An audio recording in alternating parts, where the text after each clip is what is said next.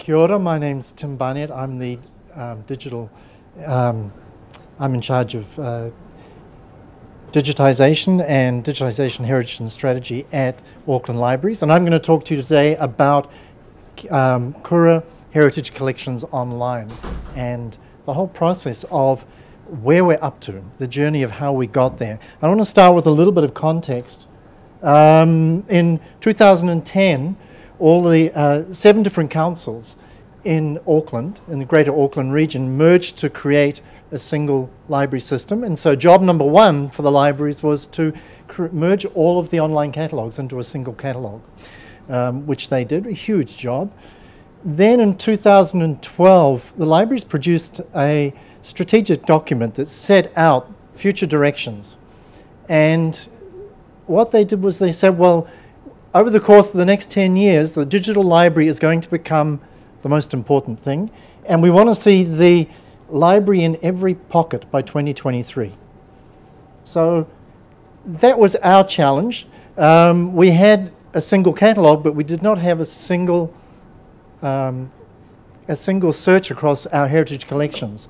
So our task was to merge all of the heritage and research databases into a single collection have a single search across all those resources, and make the content discoverable on the web. One of the predominant things you hear about Auckland Library's heritage collections all the time is when people discover them, they always say, I had no idea that you had such great stuff. Our collections have been largely invisible unless you know about them already. Um, so the first thing was a discovery process. What do we have? We did an inventory of everything on all the hard drives. We interviewed librarians and we discovered we had 70 different data sets. We had almost 2 million records, which is about the same size as our catalogue, actually. Um, the top five are there. And these are really the top five the librarians went to to help customers. So to get the library, the digital library in every pocket by 2023, we have the pillar that is the catalogue the second pillar is all of our research heritage, all of our research content. Um, what about the online resources? Big inventory of what we had online, and it looked like this. Actually, there's more than this, but 22 databases, Central Library, um, 10 West Auckland databases, that whole list there. Important ones are the last two. A lot of the manuscripts were in the, are in the catalogue. Um, but it's a good place for them to be, but not particularly discoverable when you're doing a Google search. And a huge number of resources on the library website. When the library web website was redesigned, a lot of those resources disappeared. This is what it looks like if you were trying to find something. Um, really, what you needed was a librarian to help you. And in many instances, the librarians had their kind of go-to resources and didn't necessarily know everything that was up there. So really confusing for our users, um, both behind the desk and in front of the desk. That's a little dizzying, and that's a little bit what it was like um, trying to figure out even what we had. So, what does that look like? Well, here's the solution. We wanted, um, first off, we made the declaration we have one collection. So, we wanted a, a search across that one collection. We weren't going to do an aggregator that did a federated search pulling results from all the different data sets. We needed to actually move everything into a new repository. Um, we wanted a single system for managing all of those resources and for publishing them. We also considered digital preservation and came to the conclusion that we would do the digital preservation piece of it separately.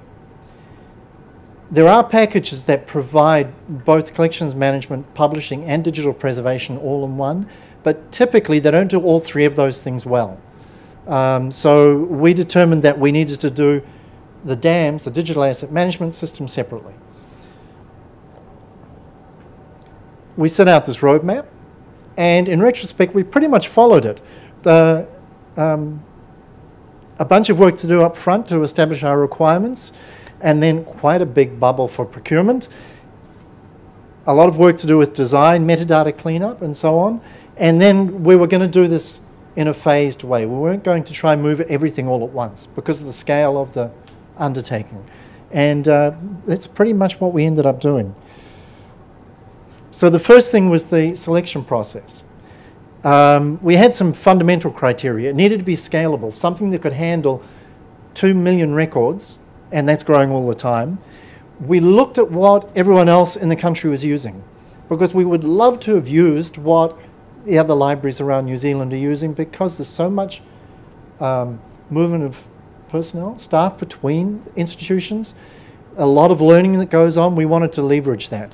What it turned out to be is that the field is hugely fragmented. There really isn't one collection management system that everyone is using.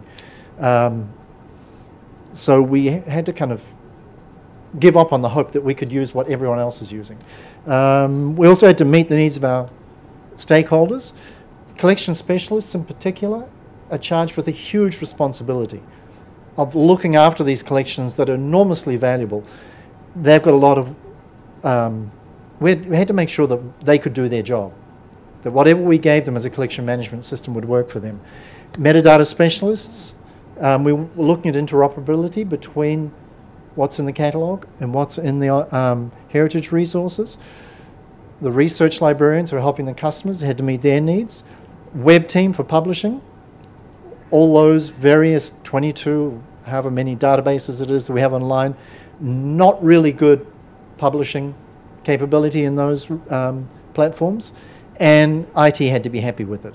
So we pulled together all the stakeholders and we received presentations from our existing vendors and a couple of big players in the field. And this is um, just to give you an idea of what we did was this was our selection criteria. The top one in yellow there, that's looking at the platform itself. The middle one is looking at what the collection specialists, specialists needed to manage the collections, and the bottom one is the publishing one.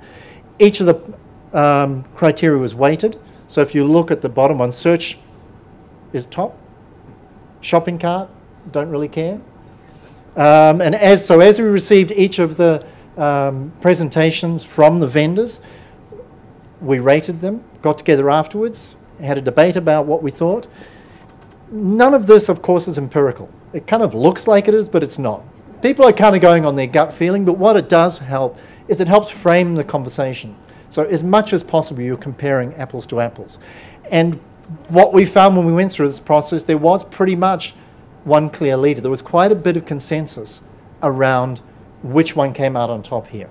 And for us, that was um, OCLC's Content DM. It's very library friendly, it's very scalable, it's customizable, we can do what we need to do with it. So then we switched over to, and now we've made our decision, we switched to the move to implementation. We had to create a new schema. Um, we had to create new metadata standards. We couldn't rely entirely on the metadata standards that, for example, uh, reliant on Library of Congress. It had to be, it has to be Google friendly, which is a little different from finding about where on the tree of knowledge does this sit, where in the Library of Congress's uh, arrangement of the information in the world, where does it sit on that thing, it really needs to be Google friendly. So that, that meant a bit of a change of thinking for some of our collection specialists. We revised our rights management approach, looking about looking at rather than making a determination on what the legal position is for each one of those records, more trying to tell the users what they can do with this stuff. So we ended up with three rights management, basically. Either there's no known copyright, or if it's created by libraries, it's Creative Commons, about half of our stuff is created in-house, so that's great. Or there is some rights restriction. For those ones, you need to check with us. Um, we decided we would do minimal cleanup. Rather than trying to standardize the metadata across all 1.7 million records, too big of a job, we would just do the piece that Content DM needed, which was essentially the title and the dates. Except that as soon as you start looking at data, you can't help yourself and you end up in a deep, dark trench before too long. Hard to pull out of that and live with the fact that um, close enough is good enough for this point in the process, which really had to do with being okay with interim records. Some of our collection specialists want really polished stuff that's really perfect. online. They don't want to see an interim record up there because it, you know, doesn't look good. Everybody had to get comfortable with the project of this scale. We had to be happy with having interim records up there. And it works really well. There's really no problem with it. We're enriching the metadata all the time. Another issue was finding all of the image files. Over uh, 20, 25 years of digitization, the image files we were dealing with were all over the place, particularly given that we're coming from what were four, four main collecting archives that had completely different protocols, different ways of doing things. Merging all of that, the, the whole getting the files sorted out was a big job. And this is just one example of that. All of these images were originally um, digitized using the Kodak Photo CD system. So they were on photo CD discs. The way those work, there's a unique barcode on every disc, and then all the files are named 1 through 25, 1 through 30, whatever. So it meant we had hundreds and hundreds of files with identical file names. Because when those disks, all that data was moved onto hard drives, they lost the barcode that made them unique. So the only the way it works now is if you go to Heritage Images, you've got to hover over the image, look at the URL that pops up. That tells you what folder that thing is in. It's the only way to find it. We renamed all these using um, Visual Basic. Named named the files to match the, essentially essentially the accession number. So that's an example of this kind of cleanup is helping us move down further down the track with our digital preservation work because we need to get the file names straight as job number one for the digital preservation. So although we've put that off to one side, we're working on along along with it. So um, that was a really good problem to solve. We needed a really good name. So we gave this task to the um, Maori specialists at Auckland Libraries. They came up with uh, some suggestions and it got narrowed down to Kura Heritage Collections Online. And Kura means treasures, valued possessions. It has the connotation of the intrinsic value, inestimable worth we associate with an heirloom. I know probably for most of us, we hear Kura, we think school. So a place of learning is not a bad connotation for our online repository as well. And it's worked really well. Pretty much now it's become Kura, just like that. Um, and it's pretty Google friendly. There aren't that many things online when you search for Kura that come up. It's in the top three, I think. Quite a big design process. Our web team led the design. This is an example of a record, it's sort of before and after where you can see how this record looked in the catalogue on the left. By the time we move it over to Content DM, of course we've got all the images. We've got all the text in there.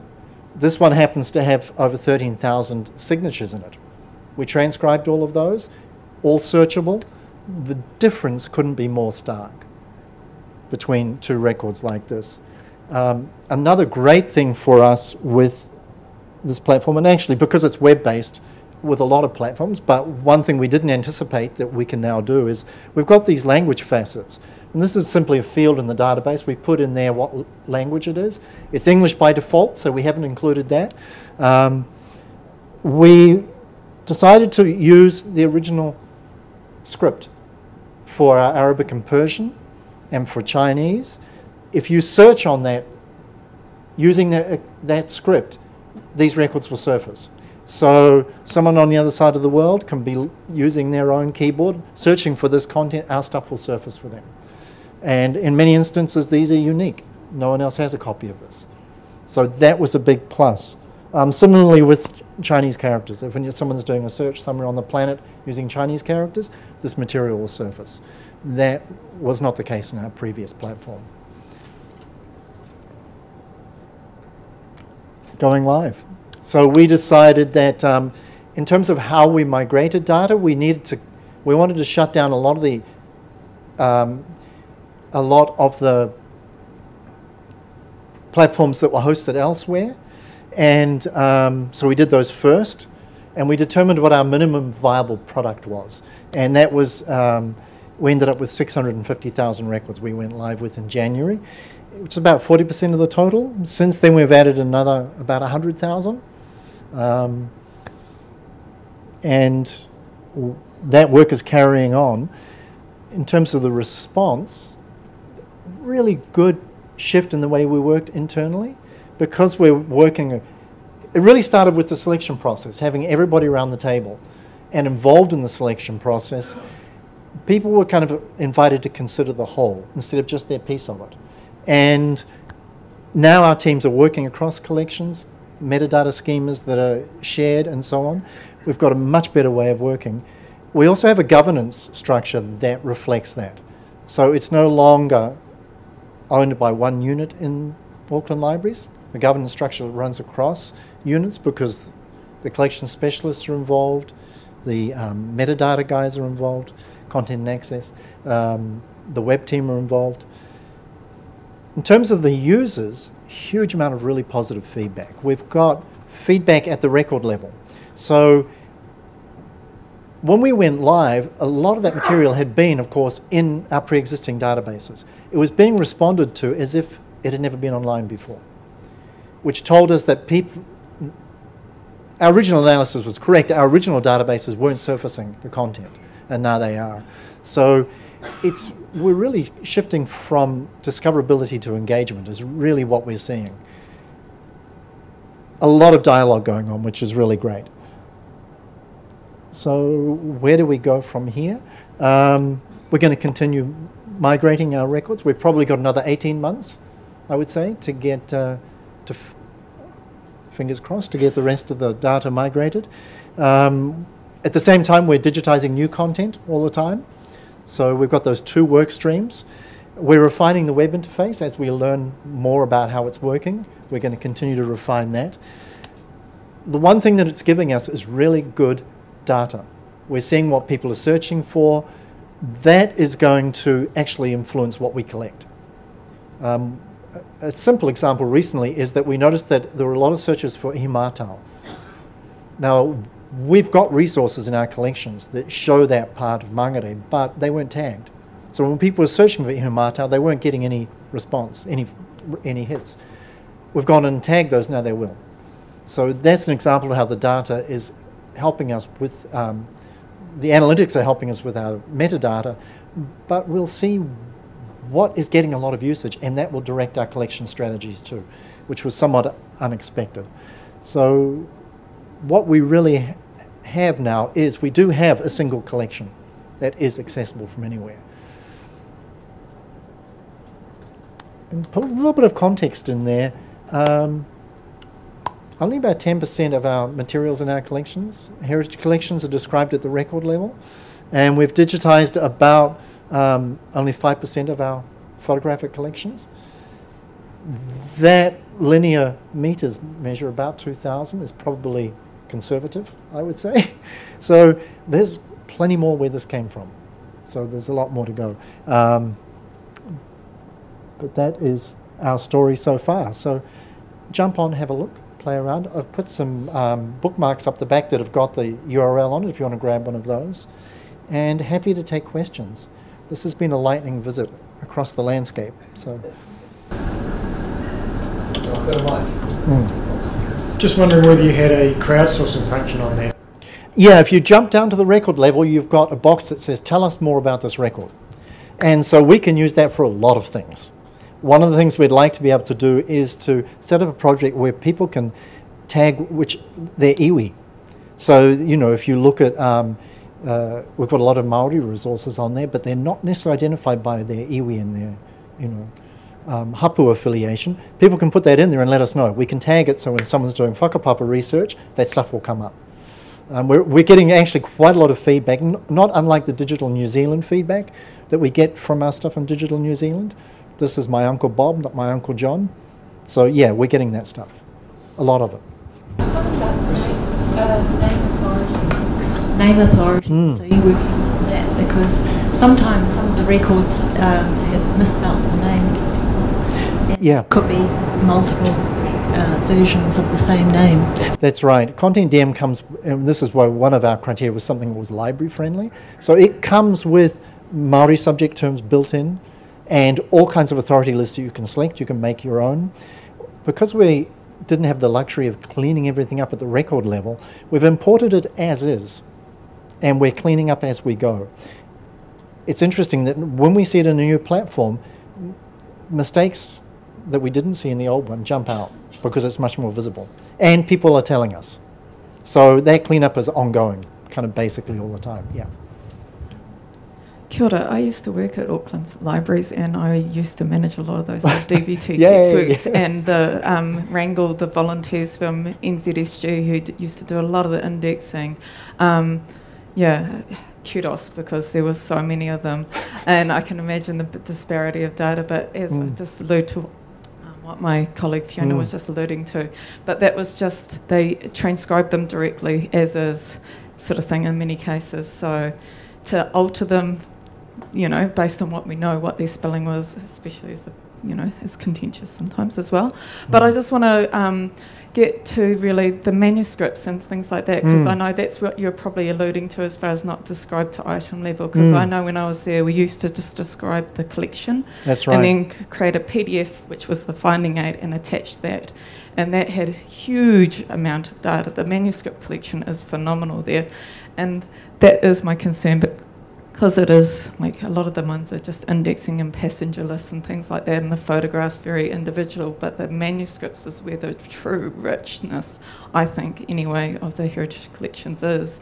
And it's a pity it isn't described to that level. And I'm just sort of interested in an example that you showed. You didn't show hierarchical description at all, and I just wondered, just a quick question, whether sorry the Hmm. CMS can handle that because that is probably how you would surface those manuscripts. Yeah, you can do a sort of parent child relationship between a record and its um, components um, to two levels. So it's not really, um, it's not that well suited to a parent child relationship thing. You can do it for those thing, those collections and manuscripts that are not described at the item level, we put in a collection record, and all that great work that was done creating those finding aids, those go into the collection record. So that stuff will show up if you're doing a search, and eventually we'll get all of the elements of that, or if we can, digitized and get that that stuff added. So yeah, Other questions? Um, so you mentioned about how you made the decision to just transfer certain fields, um, and that it's difficult to um, avoid um, the temptation of making things as perfect as you can. So do you have any tips for managing people who would like um, things to be perfect and struggle with? You know, that was the great thing about our process of having everybody around the table, everybody involved in the decision, and not just the selection of the platform, the decisions all along the way. So um, it was changing the way we worked was actually one of the great outcomes of this project. We were really working differently. And, you know, the, a lot of the decisions we make, of course, are pragmatic. There are some people for whom perfection is their thing, and they actually have the license to go in and edit records to their heart's content. So some of our librarians, the way it works is they'll they have access to edit them. and Then I look in the evening and see what needs to be indexed. And there are some um, some of our very knowledgeable librarians who have edited this many records in a day because the full stop wasn't right or the comma wasn't right, and that's totally fine. you know, they can knock themselves out, and it's great to see them doing that. It's in a way that thing of the platform allowing people to do the job that they feel that it's their duty to do, that they've got this, you know, drive to get it right. Fantastic! It lets them do that. So yeah, it's working really well. Tim, that was great. Um, as an old collection manager, you've made so many decisions there to sort of get to a point, uh, and I can just imagine the discussion about some of those things you've done. My goodness, and merging so many databases together is always a challenge. So brilliant, well done. Um, let's thank Tim. Fantastic.